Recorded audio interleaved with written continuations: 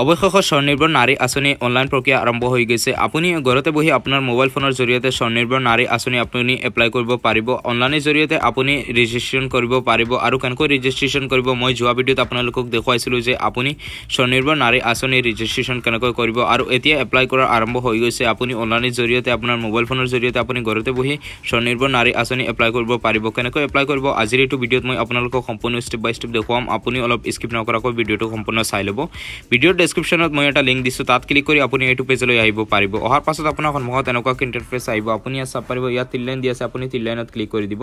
তিল লাইনত ক্লিক কৰাৰ পাছত আপুনি অলপ স্ক্ৰল ডাউন কৰি তলফালে আহি যাব। অহাৰ পাছত আপুনি ইয়াত চাব পাৰিব লগ ইন আৰু ৰেজিষ্টাৰ দুটা অপশ্যন দি আছে।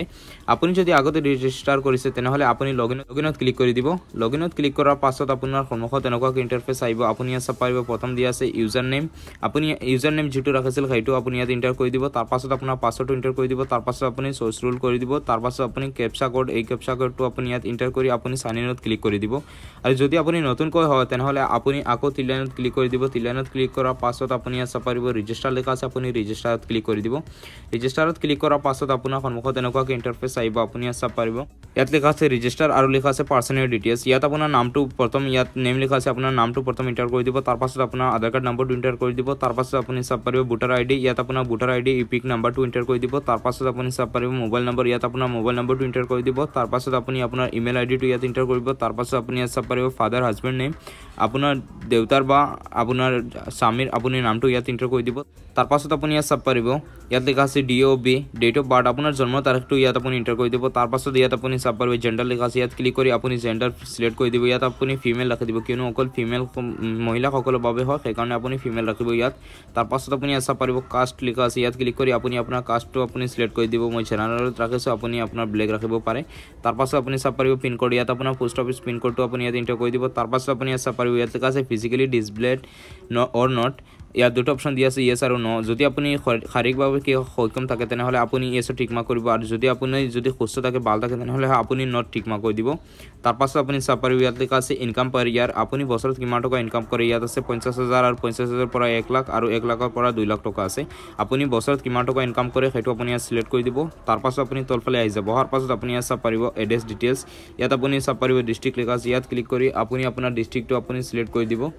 আপুনি যিটো ডিষ্ট্ৰিক্টত আপুনি বসবাস কৰে সেইটো আপুনি ইয়াত চিলেক্ট কৰি দিব। তাৰপাছত আপুনি ইয়াত চাব পাৰিব এছেম্বলি লিখা আছে ইয়াত ক্লিক কৰি আপুনি আপোনাৰ এছেম্বলি কণ্টেষ্টেণ্ট আপুনি চিলেক্ট কৰি দিব।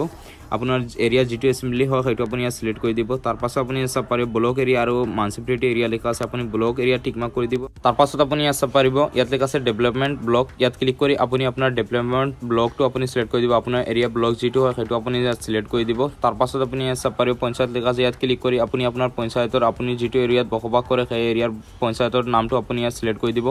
তাৰপাছত আপুনি ইয়াত চাব পাৰিব ভিলেজ লিখা আছে। ইয়াত ক্লিক কৰি আপুনি আপোনাৰ গাঁৱৰ নামটো আপুনি ইয়াত ইণ্টাৰ কৰি দিব ইয়াত চিলেক্ট কৰি দিব। তাৰপাছত আপুনি ইয়াত চাব পাৰিব তলফালে আহি যাব। অহাৰ পাছত আপুনি ইয়াত চাব পাৰিব। ইয়াত লিখা আছে ইয়াৰ এণ্ড পাছবুক ডিটেইলছ। আপোনাৰ যদি ইয়াৰ এণ্ড পাছবুক থাকে তেনেহ'লে আপুনি ইয়াত ডিটেইলছ ইণ্টাৰ কৰি দিব আৰু যদি নাই তেনেহ'লে এৰি দিব। তাৰপাছত ইয়াত আপুনি চাব পাৰিব লগ ইন ডিটেইলছ আপোনাৰ লগ ইন কৰাৰ সময়তে আপোনাক ইউজাৰ নেম আৰু পাছৱৰ্ড ক্ৰিয়েট কৰিব লাগিব। আপুনি ইয়াত চাব পাৰিব ইউজাৰ নেম ইয়াত আপোনাৰ ইউজাৰ নেমটো ইউজাৰ নেম এটা আপুনি ৰাখি দিব। তাৰপাছত আপুনি চাব পাৰিব পাছৱৰ্ড ইয়াত আপুনি ষ্ট্ৰং এটা পাছৱৰ্ড স্পেচিয়েল কেৰেক্টাৰত ৰাখি দিব। তাৰপাছত আপুনি ইয়াত চাব পাৰিব do you want to sell your handloom products under Swanirbhar Nari scheme আপুনি এই স্কিমত আপোনাক কিবা অলংকাৰ আপোনাক বিক্ৰী কৰিব লাগেনে যদি লাগে তেনেহ'লে আপুনি য়েছৰ ঠিক মাৰ্ক কৰি দিব আৰু নহ'লে আপুনি নট ঠিক মাৰ্ক কৰি দিব।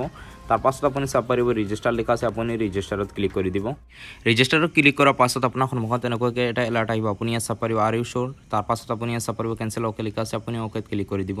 অ'কেত ক্লিক কৰাৰ পাছত আপোনাৰ সন্মুখত এনেকুৱাকৈ ইণ্টাৰফেচ আহিব আপুনি ইয়াত চাব পাৰিব ৰেজিষ্ট্ৰেশ্যন ইজ ডান ছাকচেছফুলি আপোনাৰ এখন ৰেজিষ্ট্ৰেশ্যন ছাকচেছফুলি হৈ গৈছে তাৰপাছত আপুনি চাব পাৰিব ক্ল'জ লিখা আছে আপুনি ক্ল'জত ক্লিক কৰি দিব। তাৰপাছত আপোনাৰ সন্মুখত এনেকুৱাকৈ ইণ্টাৰফেচ আহিব আপোনাক এতিয়া লগ ইন কৰিব লাগিব। আপুনি ইয়াত চাব পাৰিব ইয়াত লিখা আছে ইউজাৰ নেম আপুনি অলপ স্ক্ৰল ডাউন কৰি তলফালে আহি যাব। অহাৰ পাছত আপুনি ইয়াত চাব পাৰিব ইয়াত লিখা আছে ইউজাৰ নেম আপুনি ইউজাৰ নেম ইয়াত আপোনাৰ যিটো ৰেজিষ্ট্ৰেশ্যন কৰাৰ সময়তে যিটো ইউজাৰ নেম ৰাখিছিল সেই ইউজাৰ নেমটো আপুনি ইয়াত ইণ্টাৰ কৰিব। তাৰপাছত আপুনি পাছৱৰ্ডটো ইণ্টাৰ কৰি দিব যিটো ৰাখিছিল। তাৰপাছত আপুনি ইয়াত চাব পাৰিব চইচ ৰুল লিখা আছে।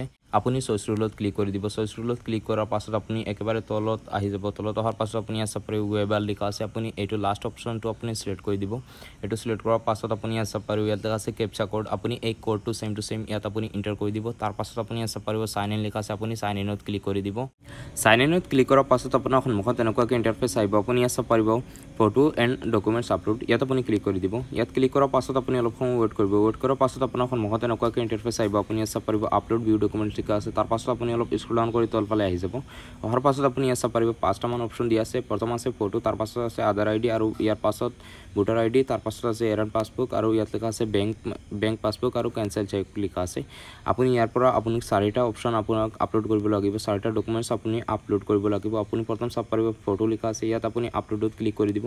আপলোডত ক্লিক কৰাৰ পাছত আপোনাৰ সন্মুখত এনেকুৱাকৈ ইণ্টাৰফেচ আহিব। আপুনি ইয়াত চাব পাৰিব চইচ ফাইল লিখা আছে আপুনি চইচ ফাইলত ক্লিক কৰি দিব।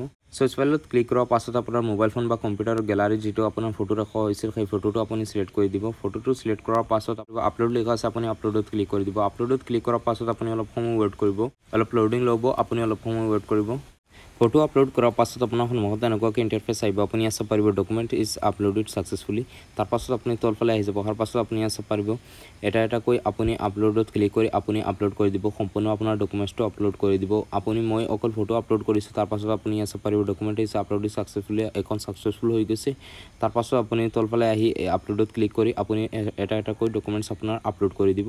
সম্পূৰ্ণ ডকুমেণ্টছ আপলোড কৰাৰ পাছত আপুনি চাব পাৰিব একেবাৰে আপুনি তলফালে আহি যাব। অহাৰ পাছত আপুনি চাব পাৰিব ইয়াত লিখা আছে বেক লিখা আছে আপুনি বেকত ক্লিক কৰি দিব। বেক অপশ্যনত আপুনি ক্লিক কৰি দিব।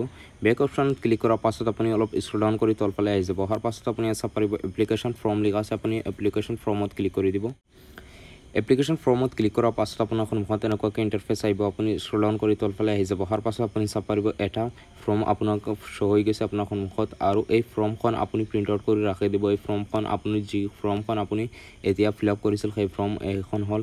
তাৰ পাছত আপুনি তলফালে আহি যাব। অহাৰ পাছত আপুনি ইয়াত চাব পাৰিব বেক আৰু প্ৰিণ্ট লিখা আছে। আপুনি প্ৰিণ্টত ক্লিক ক্লিক কৰি এখন প্ৰিণ্ট আউট কৰি ৰাখি দিব। এই ফৰ্মখন আপুনি প্ৰিণ্ট আউট কৰি ৰাখি দিব কিয়নো এইখন আপোনাক অতি প্ৰয়োজনীয় হ'ব পাৰে। সেইকাৰণে আপুনি এই ফৰ্মখন আপুনি প্ৰিণ্ট আউট কৰি ৰাখি দিব। চ' বন্ধু বান্ধৱীসকল আজিৰ এইটো ভিডিঅ'ত এইখিনি আছিল। আপুনি স্বনিৰ্ভৰ আঁচনি কেনেকৈ অনলাইনৰ জৰিয়তে আবেদন কৰিব মই আপোনালোকক সম্পূৰ্ণ ষ্টেপ বাই ষ্টেপ দেখুৱাইছোঁ। আৰু যদি কিবা অসুবিধা হয় কিবা প্ৰব্লেম হয় তেনেহ'লে আপুনি নিশ্চয় মোক কমেণ্টত জনাই দিব। চ' বন্ধু বান্ধৱীসকল আজিৰ এইটো ভিডিঅ'ত এইখিনি আছিল।